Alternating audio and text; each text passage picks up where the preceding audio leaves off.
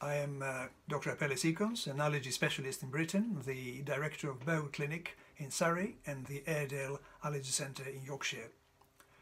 This talk is focused on uh, the investigation and treatments of inhalant allergies. How can these inhalant allergies be investigated properly? Most people know about skin prick tests. They're becoming more readily available in various hospital departments such as immunology, ear, nose and throat, dermatology and respiratory departments, as well as some GP practices. Within 10-15 minutes the results can confirm allergy to some airborne agents. However, accuracy is not high. It seems that skin tests in some people can give misleading results, especially if you have been taking antihistamines when you were tested. I reckon that uh, the accuracy is somewhere between 50 and 70 percent. Uh, another test is immunoglobulin E antibodies, uh, which are usually raised in blood samples in the presence of an allergy. Another uh, name for this test is RAST. Uh, and um, it's based on the principle that uh, T cells and plasma cells produce immunoglobulin E antibody specific for an allergen to stimulate mast cell to produce histamine and other proteolytic enzymes. So measuring specific immunoglobulin E's, it gives us some idea whether a person is reacting to dust mites, molds, pollens and so on.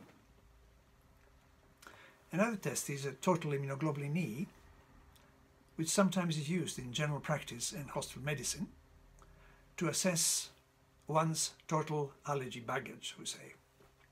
However, when the result is less than 100 kilounits per litre, the assumption is made wrongly that the person does not have any significant allergies.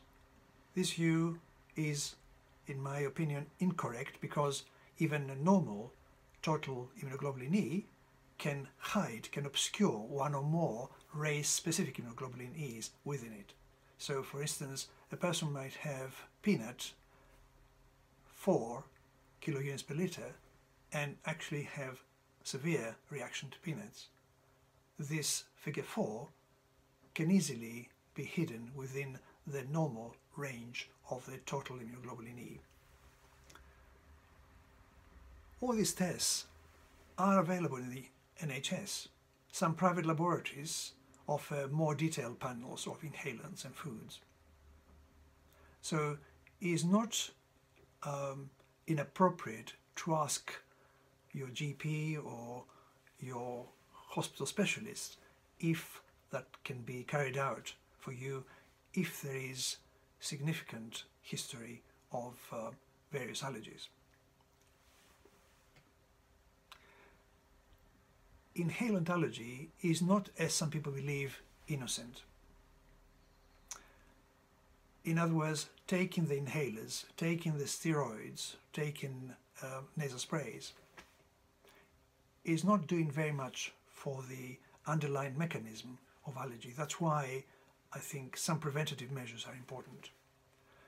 Uh, the way inhalant allergy affects people's lives can be seen when pollen allergy, for instance, costs lower grades to teenagers taking exams because as you have in symptoms, your performance may be below the expected standard. Breathing symptoms during the pollen season or all year round have a profound effect on one's immune system in spite of suppressing one's symptoms with medications. Because the underlying reactivity remains active. Suppressing uh, any histamine phenomena or any allergic symptoms bears no benefit for a struggling immune system. But, but I don't want you to think that all is doom and gloom. Here's some good news. In the last few years, there's been an increase in the numbers of doctors with special interest in this field.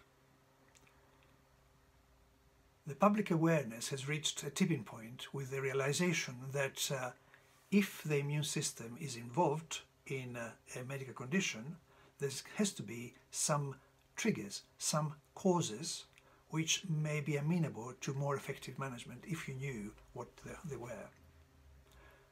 Since we started replacing carpets in Britain with bare floors, the rates of asthma amongst teenagers have fallen significantly. Some people using bed mattress barrier covers and good quality air purifiers feel better with their breathing literally within days. If these basic air purification measures fail to improve symptoms, there are some safe, reliable and effective methods of immunotherapy.